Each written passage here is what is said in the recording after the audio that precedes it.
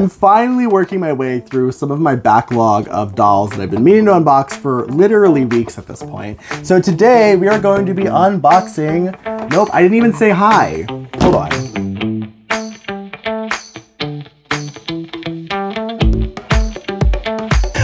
Everyone and welcome back to my channel. So today we're going to be unboxing a Shadow High doll from Series 2 and this one is going to be, um, what is her name? Monique Verbena? Verbena? Is it Verbena? It's a plant, right? My botany people in the in the comments, do you know what a verbena is? I think it's a plant, right? Anyway, so this is, she is from Shadow High Series 2.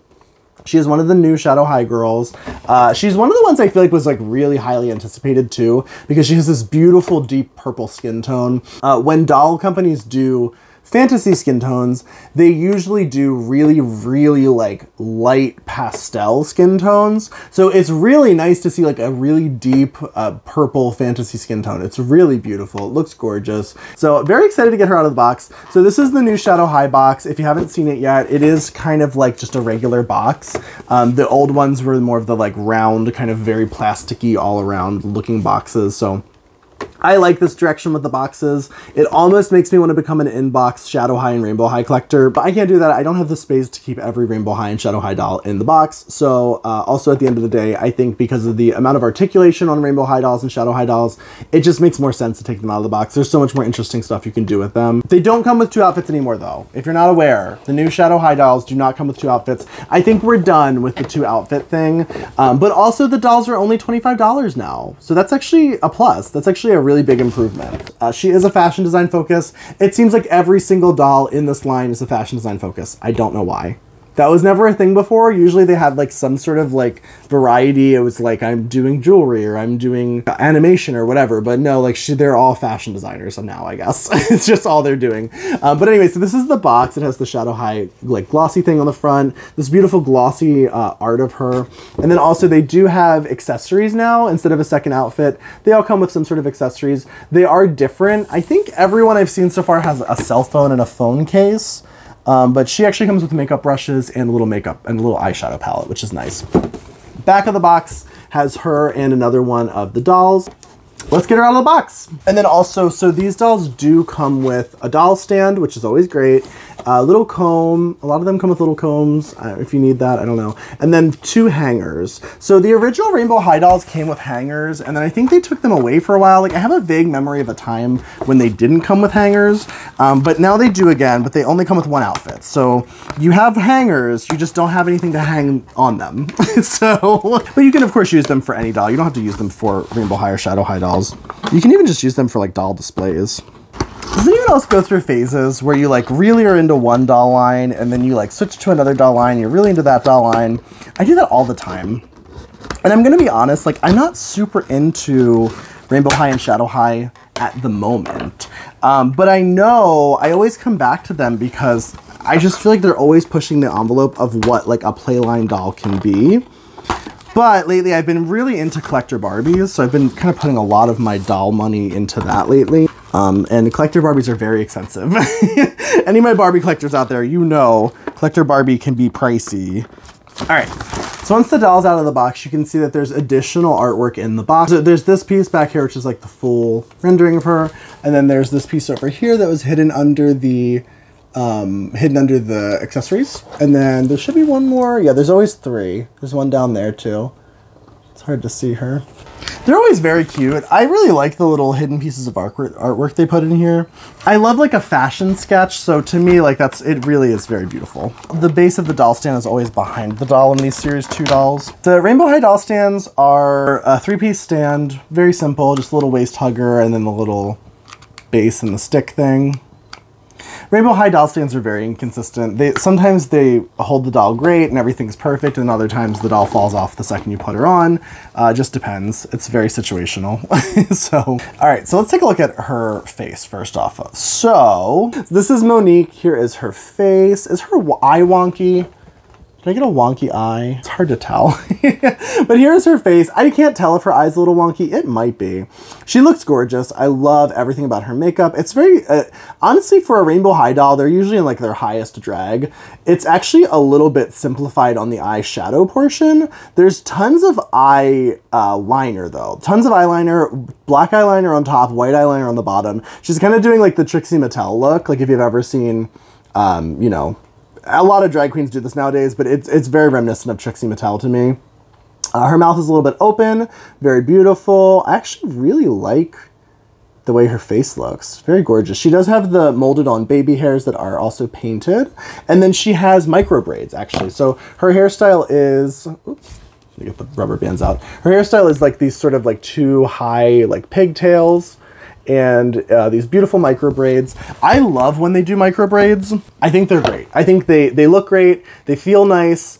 Um, they are super easy to maintain. So if you're like the kind of person where you've got a lot of dolls and their hair gets up all the time, like my, like I am, these are really great. I've never once had to fix or restyle any of my dolls with micro braids. So I love them. I think they look gorgeous. So uh, sometimes they're rooted a little wonky. This basically, one of these micro braids is like one hair when they root them. So they're very thick, right? So basically they root each individual micro braid. This isn't like doll hair and then somebody braids it on the doll's head. That's not how this works. So this is like, it's already pre-braided and then they, they root it in as a one piece. Because of that, the hair rooting is usually a lot sparser, but it has to be because the fibers they're rooting are very thick. Um, so the color in this hair is so gorgeous. It's such a beautiful combination. Like each braid has multiple colors in it. So there's different shades of purple, blue, there's a little bit of black in there, I think. It could just be a dark brown. So beautiful. And honestly, one of the things that has always drawn me back to Rainbow High and Shadow High time and time again is the way that they use so many different colors in one doll's hair. It just adds so much depth and so much um, I don't know, just so much interest to their hair. It's so beautiful. And I'm not like a big hairstylist or anything like that, so I really don't even have the skills to like make it look much better than it is. anyway, I also wanted to show her earrings. Her earrings seem to have little orchids on them. Maybe? I'm not sure if those are orchids. I'm assuming they're supposed to be the flower that she's named after. Um, she also has this cool necklace. Very cool.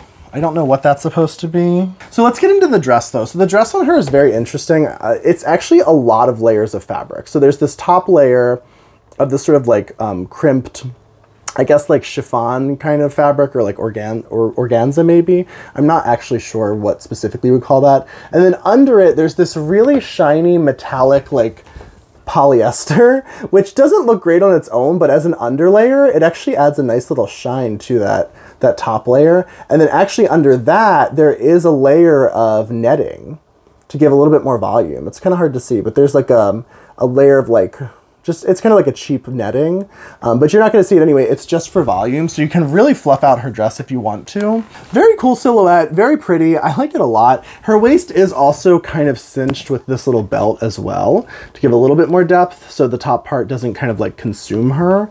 Uh, it's more of like a ruffled kind of collar almost, and then the dress kind of begins under the belt. All right, so the dress also, if you're wondering, it does Velcro in the back, just like any other Playline doll dress. Nothing crazy there.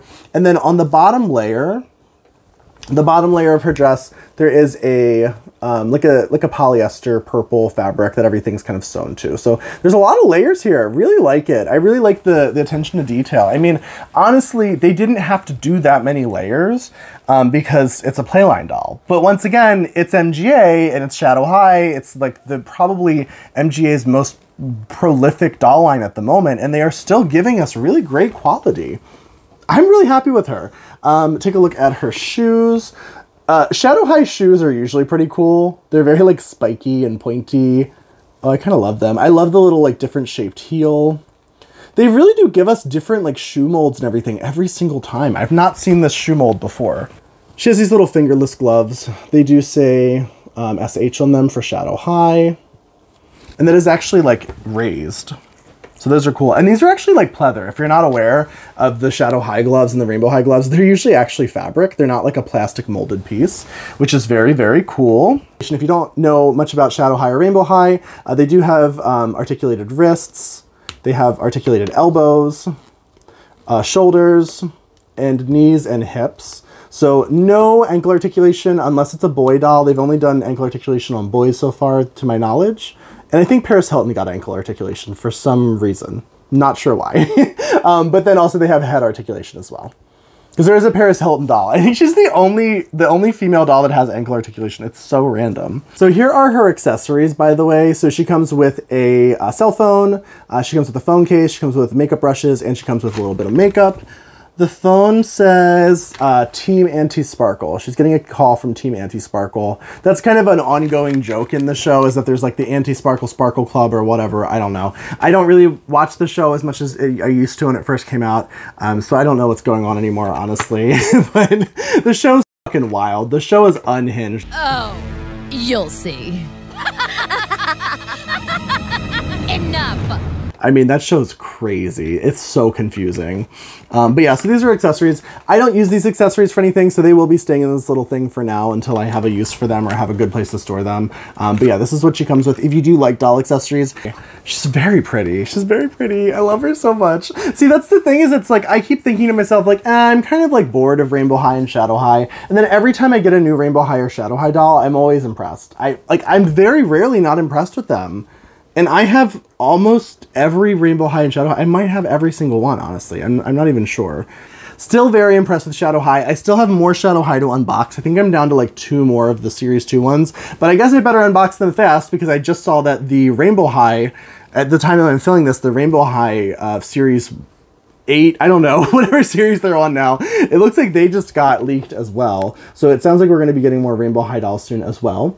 Um, so I do have to kind of hurry up on unboxing all these. If you're like a new doll collector and you're looking for like a high quality doll at a good price, Shadow High and Rainbow High I think are still usually the best in my experience personally.